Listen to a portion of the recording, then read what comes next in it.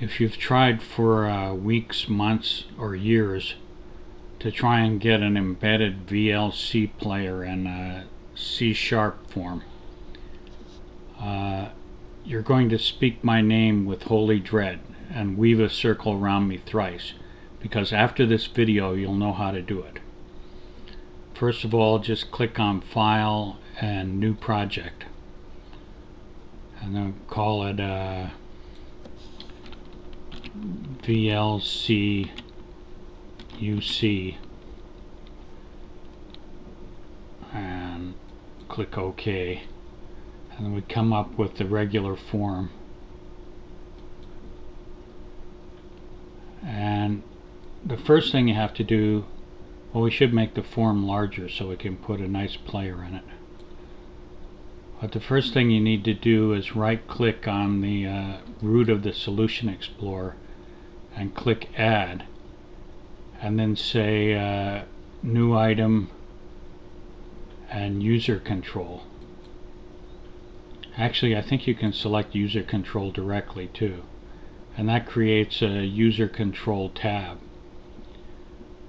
And then the next thing we want to do is go into the uh, toolbar and right click on the toolbar and click on choose items and make sure you've selected the COM components tab uh, this assumes that you have VLC install installed on your system of course and we want to go to VV1 which is actually the Videolan uh, ActiveX plugin. And version 1 is the one I've always used. I'm not sure whether version 2 is any different or whatever. But you've got to make sure that you click the checkbox. This is another gotcha. I used to always just select this and press OK and it does nothing. You got to click the checkbox and then click OK. And then you notice in the uh, the toolbox you'll or the yeah, the toolbox you'll now have uh, V space V1, which is the ActiveX plugin. And what we want to do is associate this plugin with this user control.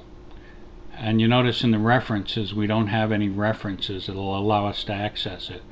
And the way we do that is we just double click on it. And that puts a part of the icon in there and it also adds the references AX, AX VLC, and AX VLC to the references, which is critical. And in order to get a better looking icon, what you want to do is go down to uh, Dock and select Full. Full is actually the window in the middle here. And then you get the nice VLC icon and so on and then we want to go up to debug and do build solution and that'll actually build the uh, user control which is now associated with the VLC ActiveX and then in the form we want to drag over the uh, control uh, position it nicely and resize it.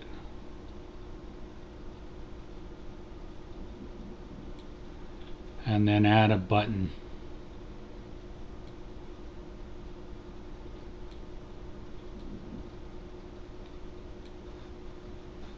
and give this a meaningful name like uh, BNT play. Oops. Or BTN play. Hungarian notation. And go down and put the play text in the button. Another thing we want to do is give this control a more meaningful name. Right now it's this big long name. Just call it uh, VLC.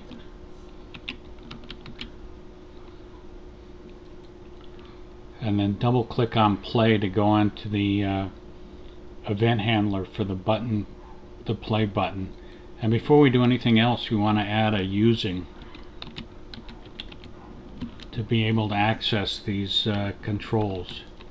So do using AX AX VLC, the reference we needed to add. and then we use an open file dialog in order to select the file just call it OFD and instantiate it in the usual way. And then say if OFD dot show dialog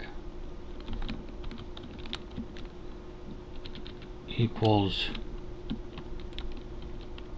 dialog result dot OK which means the user actually selected a file name uh, put parens around for the if body.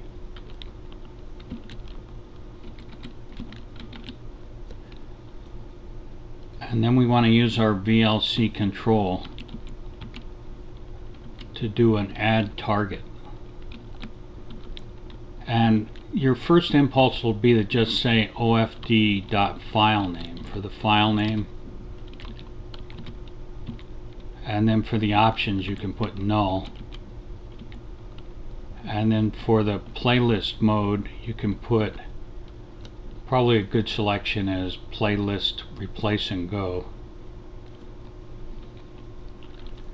And then the position start at zero and this actually won't work. And the problem is if you look at this the, in the definition they don't want a file name they want a URI so you'll need a protocol to prefix the file name. So what the protocol we want is file colon slash slash slash and then the uh, the file name. That's a major gotcha and if you've gotten this far and and gone insane and overturned your desk and punched your fist through the door and run outside screaming got arrested by a passing patrol car now you know the answer and then the only thing we need after this is vlc.play and I think we're pretty much ready to go.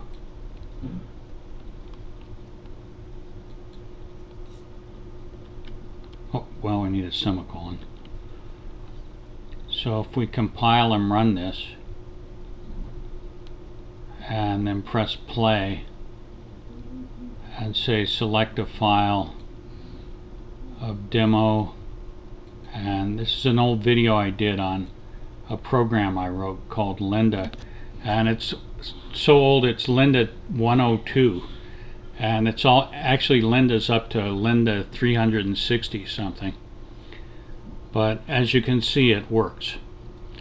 Well I hope you uh, enjoyed this video and learned a lot. And I'd appreciate it if you'd subscribe